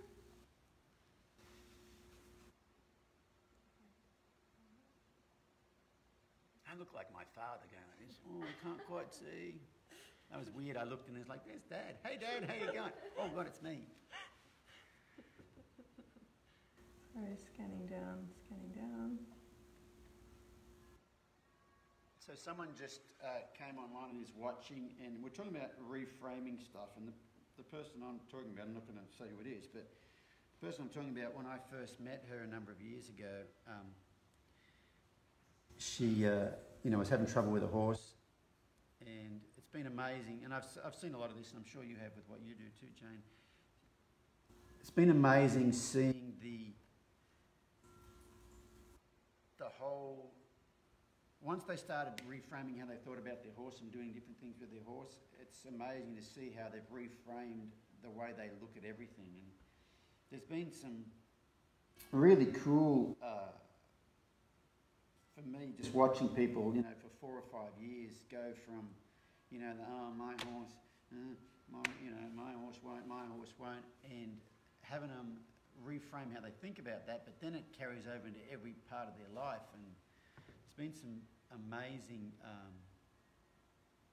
transformations, you might say, as far as how people, uh, you know, how they handle stuff in their life. It's been amazing. Yeah. What do you got there? Okay, so Kathy's. Um, so Kathy posted in the group yesterday asking, um, were the strategies Jane used to help you both at WEG the same for both of you, or did they differ because of a difference in mindset, experience, perception between you and Robin? Um, shall I answer that? Or do you want to answer that? Well, I can't answer for Robin, so you know the, you know the both sides of the story. Yeah, so I think it's all sort of not a long. I'm trying to succinctly answer this without rambling on for half an hour. But um, so basically, there's a framework. There's a course that I teach called Competition Ready, which provides me with a framework, basically, of approach for how it is that we want to get your head in the right space for competition. And the, the main elements of that are training your focus, so really getting your competition mindset and identity in the right space where you believe that you are a worthy part of what it is that you are going to engage in. And that's really important for something like WEG, where, you know, the perception could be, oh my goodness, it's sort of like, you know, it's up there, it's one of the big international competitions, and you can, uh, it would be easy to default to that feeling that you weren't worthy or, you know, big enough to kind of be there. And so you really have to, to get your head in the right space to understand that your competition mindset needs to match the experience. And that's really one of the first, first things we get into. We did both together uh, creating what I call performance statements, which is a piece of um, consciously designed self-talk. That's how I describe it. So that when you feel your internal conversation revert to a narrative that isn't particularly supportive or is critical or upsetting or some way disturbs you, you've already designed something that you can slot into place. If you think of it like a slideshow, you know, and the wrong slide comes across and we take that one out and we put the one in that we want, a lot of the work that we do involves um, making sure that you're not left to make a decision in the moment uh, when the environment isn't necessarily supportive of what it is you're trying to create. So you really don't want to leave decisions or last minute things to pressurized situations. So that's where we deal with everything before. We, we get mindsets in the right place. We look at the self-talk angle with, you know, the audios these guys did. Um, it's definitely individually dependent because we all have our own stuff. Like, you know, there'll be things for Warwick that weren't necessarily on Robin's radar and vice versa, and it's the same for all of us. So while there might be a process that is followed just like stick to the damn plan, within that there's a little bit of individual specification for each horse Right, or yeah. each rider. Well, for each rider, yeah. Yeah, I know. I, you know, you asked, Jane asked us certain questions, like what are some of the, that whole performance statement you Yeah, you know, yeah. Jane asked questions and you have to answer it. And of course, my answers weren't the same um, as Robin's. Yeah, so there's specification within the format, I guess, and, and none of it's a format as such, but there's a, you know, if you if you want to create a process, then there's a need for some kind of like framework, I guess. So yeah, Hey, everybody, the answer the famous? Matt Mills is watching. We have a, we have a, a World Equestrian Games gold medalist. Oh, Matt says my shirt is on point. Right, thank you, Matt. so cool. Um, yeah, I'm not sure if that answered the question, but there was individual specification. I guess that's the that's the answer. Um,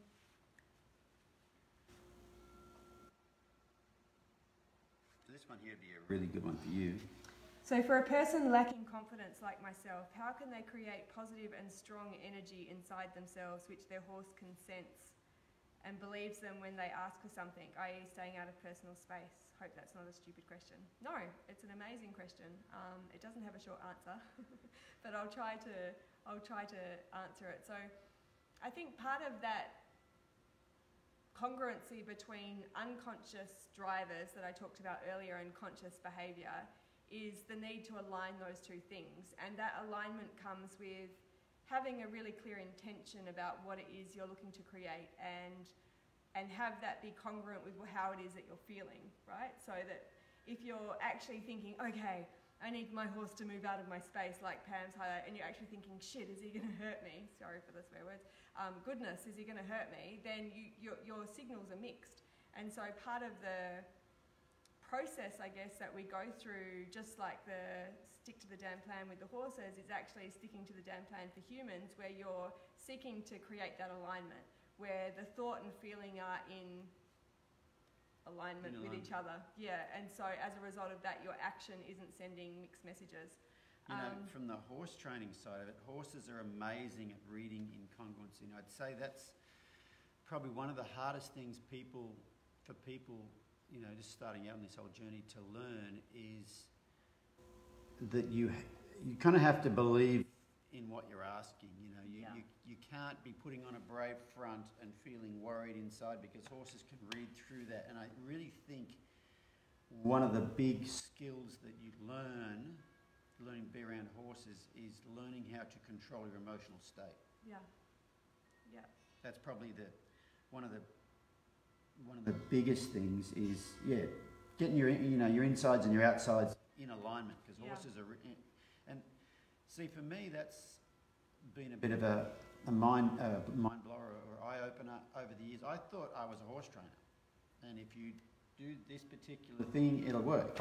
It does if everything in you lines up, but if everything in you does not line up, the technique itself doesn't work yeah, near as well. And it's and so it's now I'm kind of venturing off into the territory of teaching people how to, you know, like nowhere near what Jane does, but you know, it's it's I've realised it's not so much just about how you ask the horse to do things, but whether you actually are, you know, congruent stuff. I mean, one of the big things I see, I have seen over the years, a lot of people do, is asking a horse to move while leaning backwards.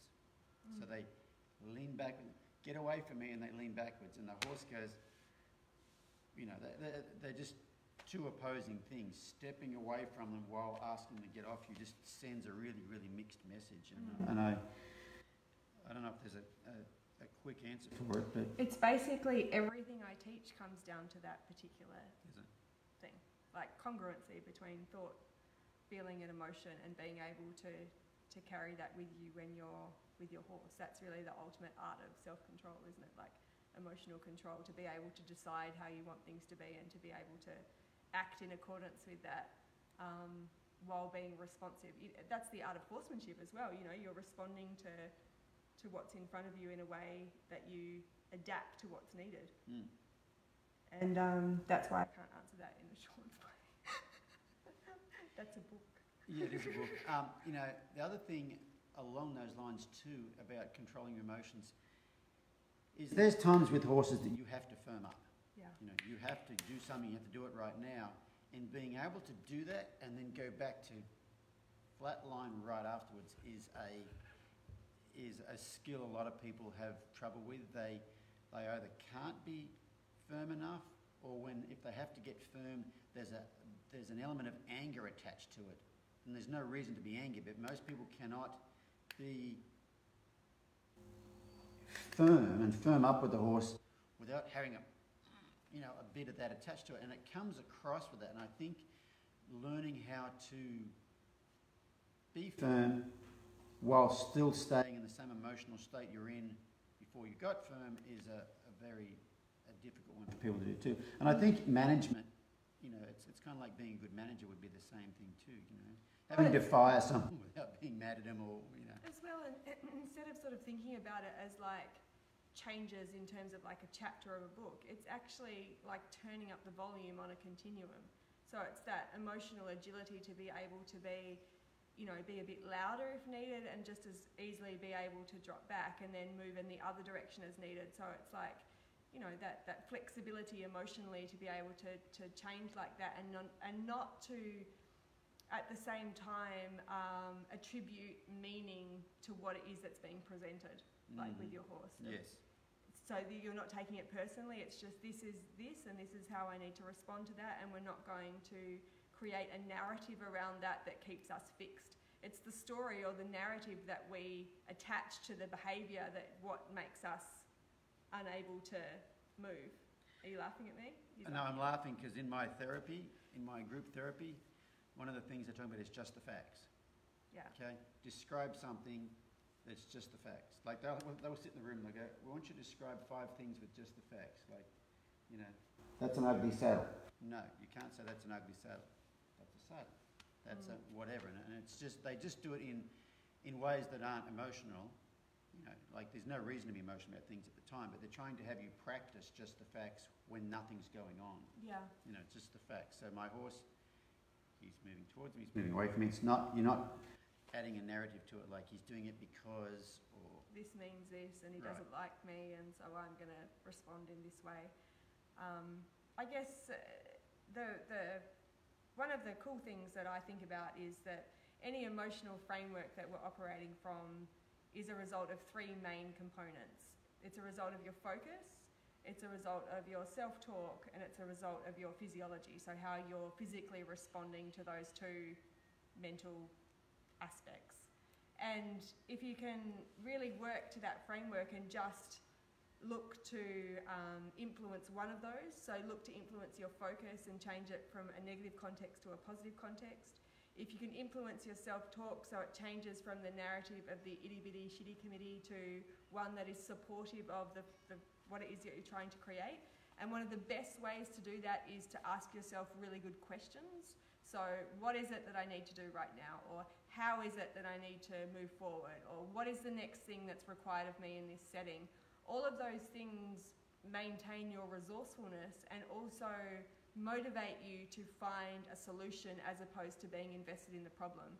And when you ask yourself low quality questions, you get low quality answers like, why is this happening? And then your mind goes, that same idea of wanting to prove yourself right. Well, I don't know. Maybe you're not good enough, or your horse is not, doesn't like you. And so you support whatever it is that you project. So if you're, if you're stuck, then just think of a really good question. You don't need to know the answer, but it will motivate you to seek the answer out. So if you can leave it in a good space, for instance, leave you and your horse in a good space and then ask someone that's available to you what you should do next, then that's progression, you know? A little bit off, off topic.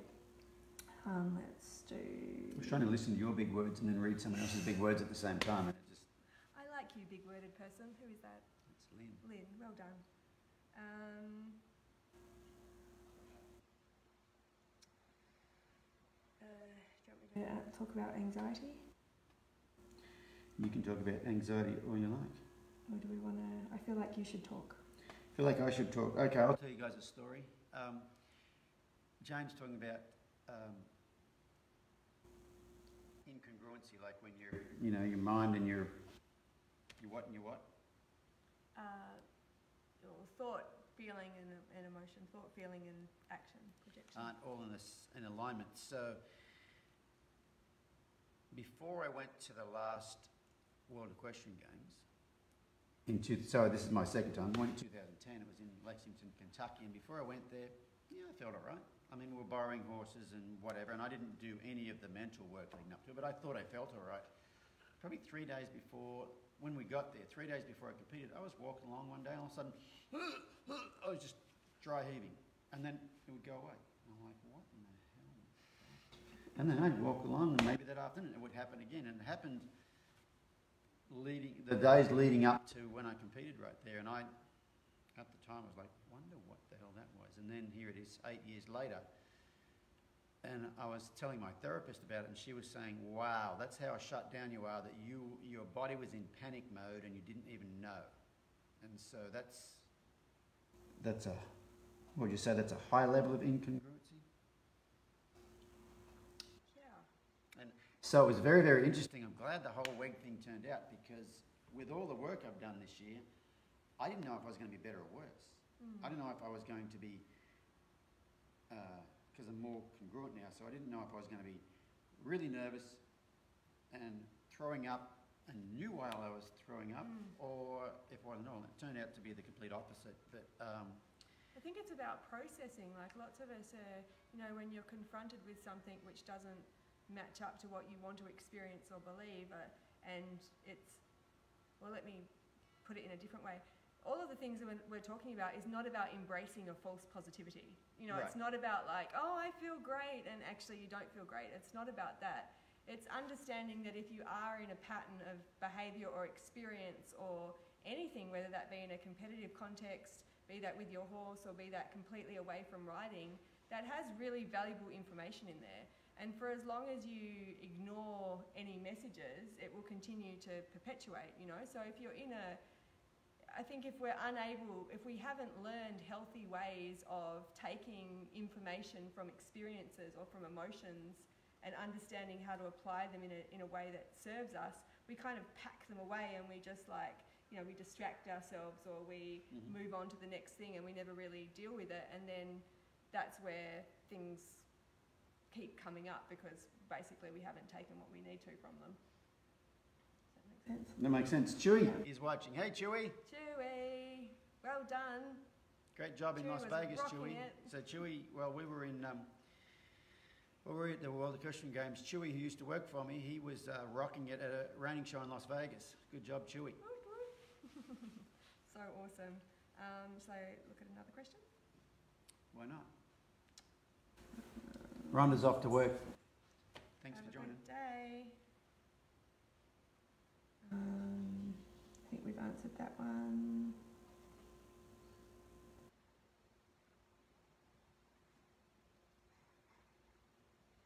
Do you want to answer that one from Irene? Is that the, is that relevant? How to put your nerves to one side when you know your horse is good, the groundwork's good, no human nerves present, but when it comes to throwing your leg over, the nerves begin. How to help yourself to help the horse.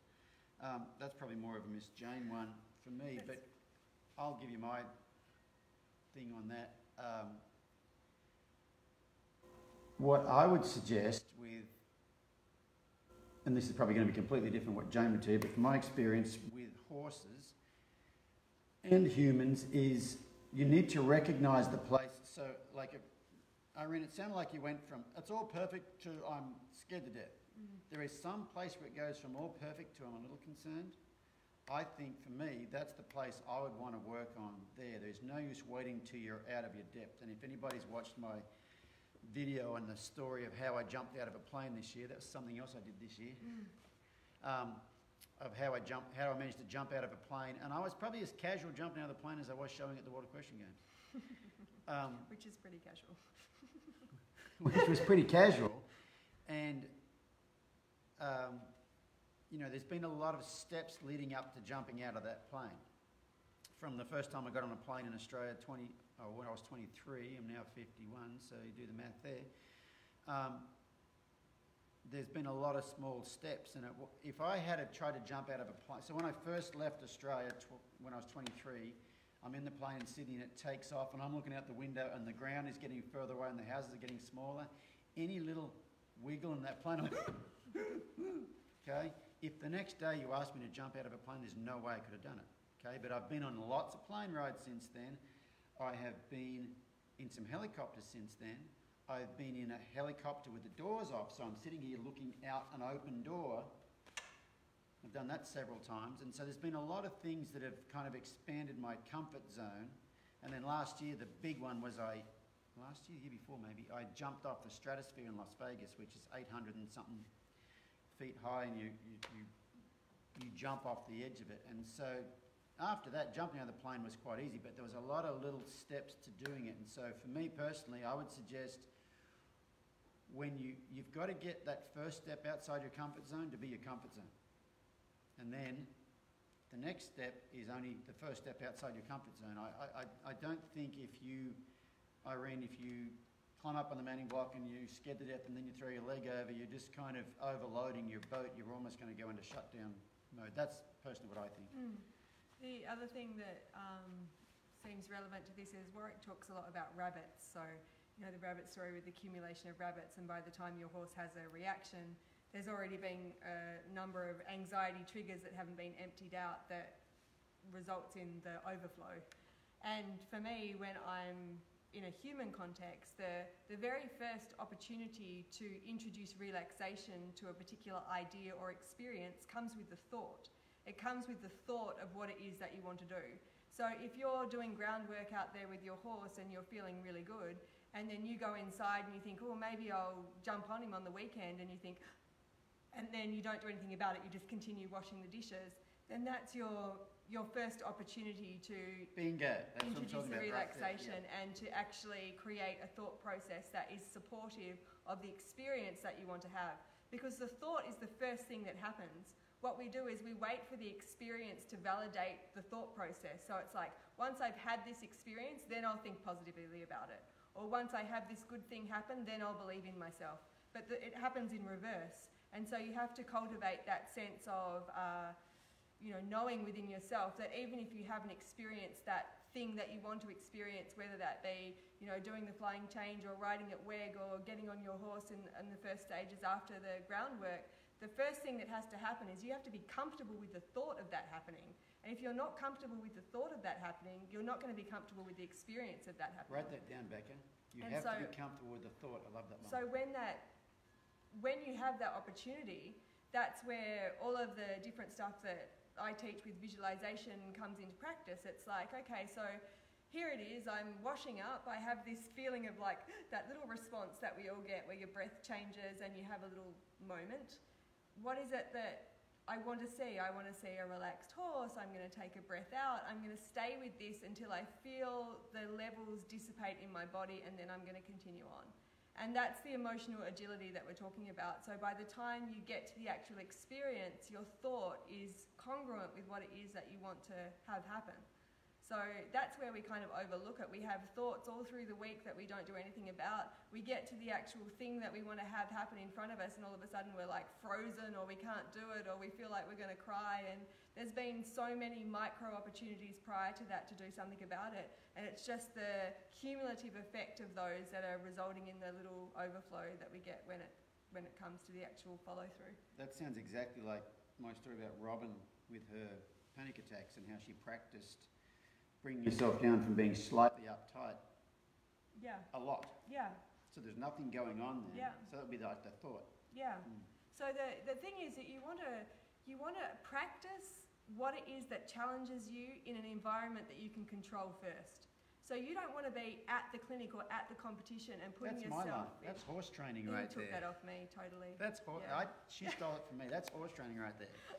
Um, Work on the problem before the problem shows up. Yeah, Yes. yeah. You know, so and for us, the the ability that we have as humans is to visualize a future scenario.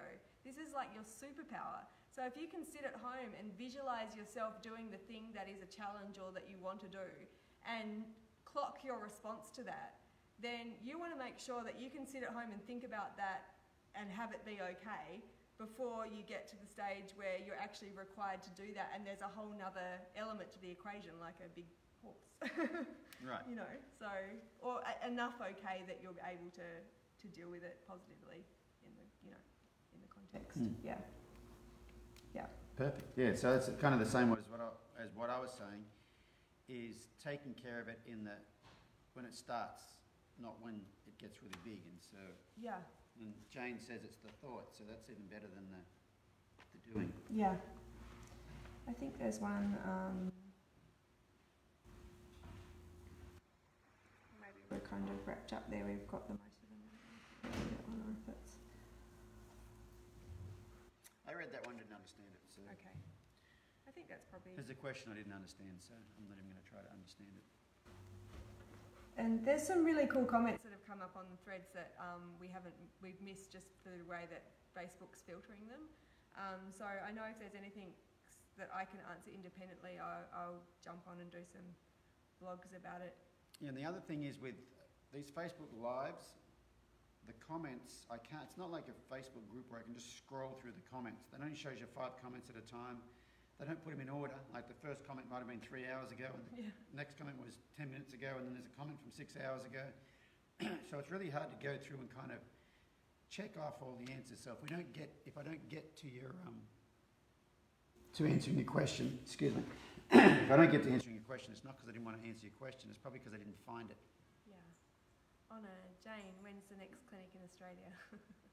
well, Warwick's clinics are in USAT in January, January I start Yeah. in Victoria. Yeah, yeah, and um, well, that's confusing. I'm not sure which Betty's Betty's referring to.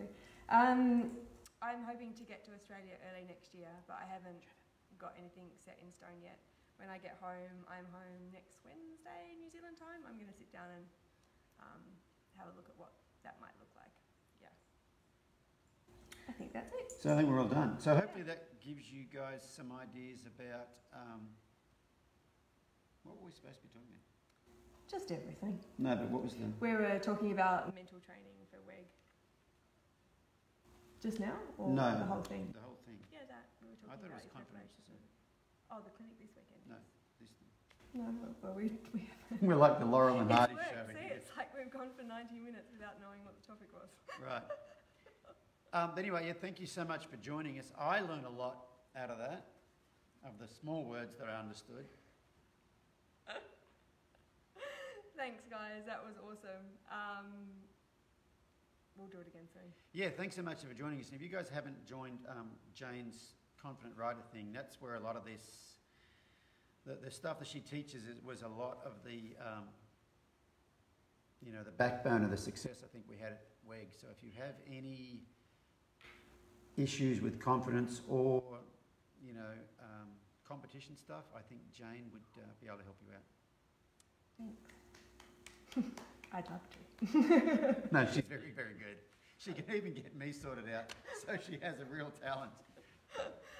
All right, guys. Thank you so much. It's been a pleasure. Thanks for joining us. We'll catch you later. Bye, guys.